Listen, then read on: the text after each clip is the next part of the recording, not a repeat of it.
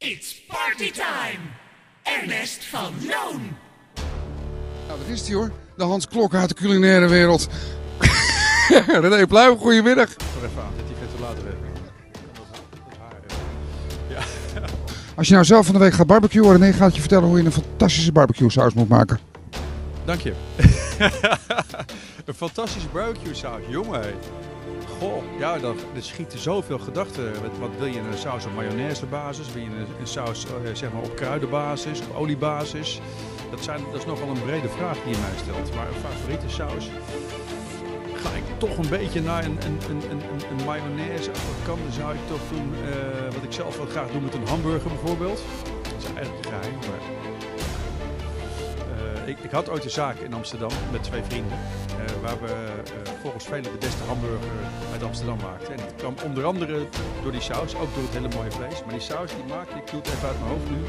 eh, mayonaise, yoghurt, citroensap, dragon, heel belangrijk. Kappertjes, augurk, half zongedroogde tomaatjes, zwarte olijven, knoflook. Altijd knoflook. Knoflook altijd. En dat is het volgens mij. Ja, zout en peper. Ja, ja en ehm eh bladpeterselie. Altijd belangrijk om het af te maken. Ja, Dit is hem. Van kop tot staart, varken. Van de demo-slagen van Gert-Jan Kiers. Hoe gaat het met het boek? eh, het boek is nog niet uit. Het boek is, eh, komt 6 oktober uit. Eh, hij is er wel, maar we, de- we hebben de release iets eh, vooruitgeschoven. Omdat er heel veel kookboeken in september uitkwamen. En eh, dit is een heel speciaal boek. En die eh, verdient ook eh, heel veel speciale aandacht. Wat maakt het boek speciaal, Gert-Jan? Eh, dit is het eh, ultieme duurzaamheidsboek. Dus we hebben het varken, het hele varken. En van het snuitje tot aan het staartje, de pootjes, we hebben overal een gerecht van gemaakt. Dus dit is het ultieme kop-de-staartboek. Heb je nog een, een lieve boodschap voor de mensen voor de kerst en voor oud en nieuw? Zullen we het doen zoals we het van de week, ja? Wil je het echt doen zoals ik het van de week in de zaak bij mij heb gedaan?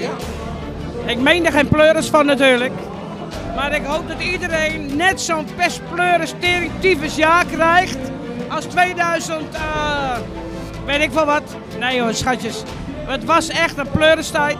We hebben echt heel lang hebben we een klote tijd gehad. Maar jullie, ik, ik gun iedereen het aller, allerbeste. En eh, doe alsjeblieft lief voor elkaar en wees lief voor elkaar. En eh, ja, lekker blijven drinken en eten.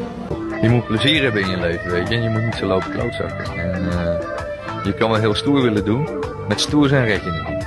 Weet je? Als je, als je altijd maar stoer bent, meiden lastig valt, veel zuipt. eh loopt de klootzakken in discotheken en zo. Dan red je niet. En het grappige is dat die gasten met die grote bek altijd later met een of andere uitkering eindigen. En de wat mindere goden op zo'n avond, die gaan er later met leuke bandjes en met het meeste geld vandoor en komen uiteindelijk in een mooie auto voor rijden. Nou, denk daar eens over na.